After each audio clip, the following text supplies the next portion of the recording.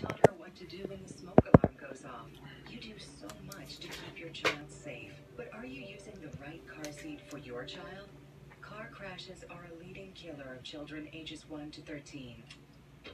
Protect your child's future at every stage of life. For information on the right seat for your child, visit safercar.gov slash the right seat. A message from the National Highway Traffic Safety Administration and the Ad Council.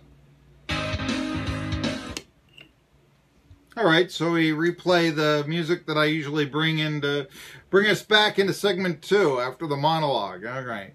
Tri City Sports Now. I am Marky Billson. And uh, yeah, I wanted to uh, point this at some grab bag news. By the way, you hear this Las Vegas Bowl. It's not official yet. I mean, it's not official that there'll be three new bowls added to the college football uh, landscape. The Las Vegas Bowl, what with the Raiders moving their new stadium, they are really trying hard to uh, do away with their Mountain West Pac 12 matchup and bring in the SEC in instead of the uh, Mountain West. I was going to say in lieu, but that's usually what happens when you die. I mean, come on, you know. So instead of the Mountain West, the SEC, they'd give the SEC 11 bowl slots. 11 games that people wouldn't care about. Only bowl, by the way, that chooses its own allotment, believe it or not, Citrus Bowl. Citrus Bowl is supposed to get either the SEC champ, but usually that's going on to the playoffs or, you know, something like that. They don't get that, then they can choose. Then it's usually, you know, the, maybe the team that loses the SEC title game, something like that. So, uh, but yeah, the only but yeah, 11, potentially now 11 slots, bowl slots for the SEC.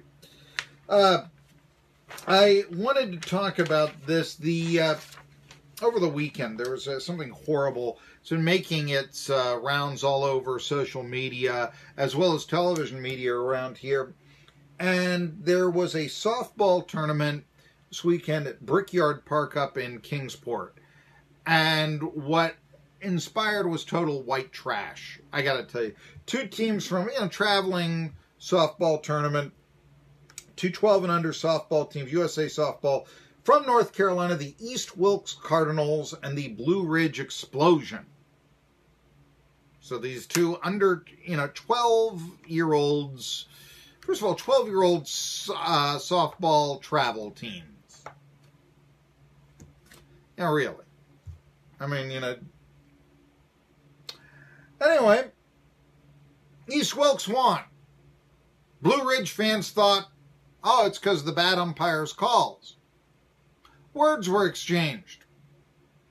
And a huge brawl, usually about a 56 second video that you can see, of people who might want to try salad instead of bacon, as well as in flip flops started rolling around on the floor and making jackasses out of themselves. Did you see this?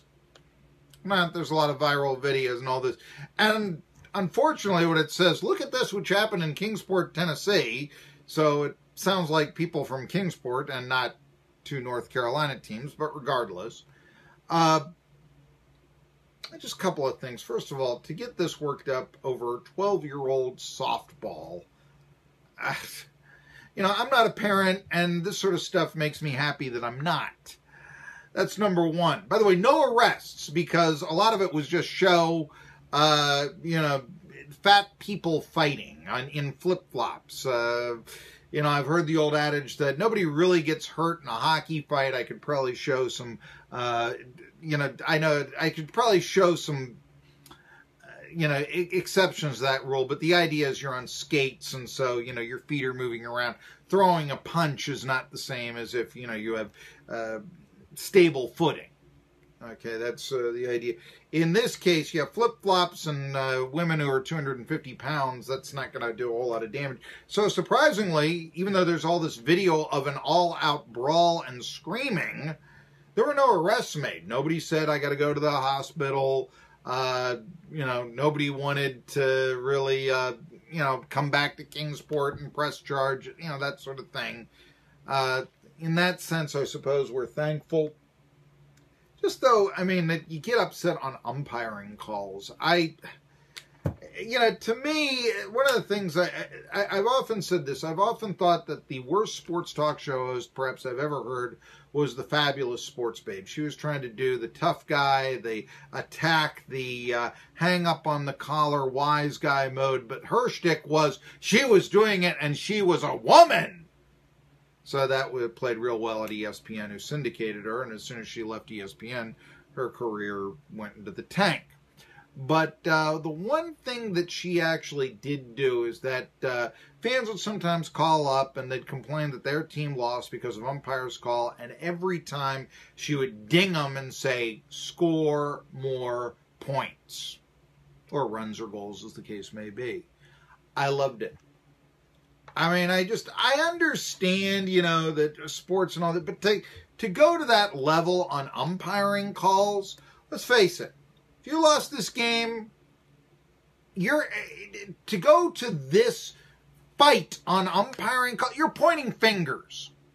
And you're pointing fingers at 12-year-old softball.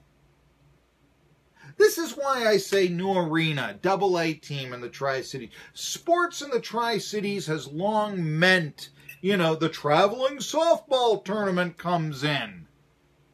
I want something more cosmopolitan. That's why I applaud Lincoln Memorial's efforts and have him on so that we can get away from this crap and have something that actually unites the community. Colin Cowherd's next. WBMB Erwin, 1420 NBC Sports Radio Tri Cities on Facebook.